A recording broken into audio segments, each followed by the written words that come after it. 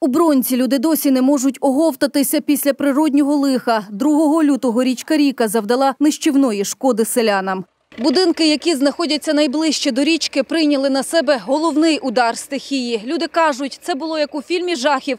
Вода прибувала швидко і несла з собою величезні льодові брили. Кригу, яка стрімко неслася на людські оселі, зупинила хатинка пані Марії. Старенька вдома в ту ніч була одна. Ото резко нічого прийшло, ото коли почало бекати стіна, що там у хижі не можете дойти. Там ніде ніч. Вода ся урвала, та й крига за ним.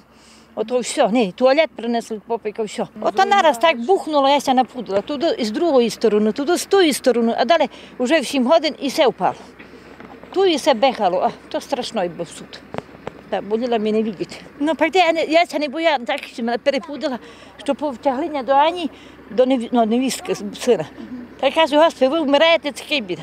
Тільки під ранок жінку ледве вдалося витягнути із напівзруйнованої хати, яка була вся у воді і кризі. Сиділа вночі тут, бо добратися до неї не могли. Брат вже понад рано всіх дібрався, от ті винесли.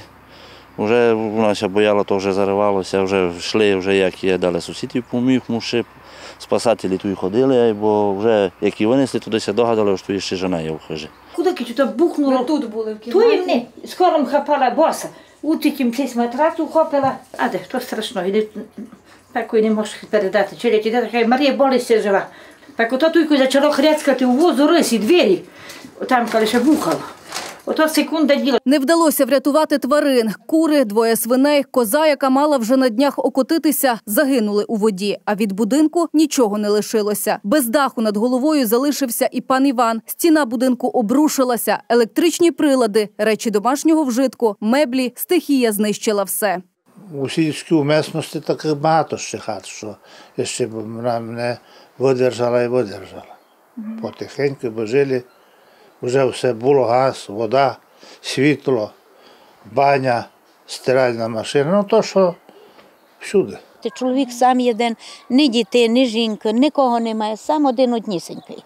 Чималої шкоди завдала негода і дошкільному навчальному закладу. Всередині приміщення, кажуть люди, вода була по пояс. Це був єдиний дитсадочок у селі. Його відвідувало близько 70 дошкільнят. Наразі в дитсадочку небезпечно знаходитися. Старий корпус зруйнований повністю. Те, що вціліло після стихії, люди намагаються врятувати. Однак користі з цього мало. Жителі кажуть, такого лиха можна було б уникнути, якби піротехніки вчасно підірвали льодовий затор на річці.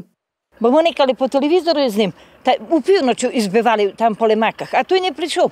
Якби були ту дамбу пробили ще з вечора, коли говорилося, коли се дзвонило е, голові сільської ради, все коли робило, ото можна було зробити із зарання. Дзвонили всі, які лише можливі служби всюди, де як було, як ну, ніхто не реагував. Де узкоколейка йшла, там маємо міст желізнодорожній. На тому мостові зупинилася вся крига, і вона метрів 200-300 до там того верхнього моста, якби став кригола.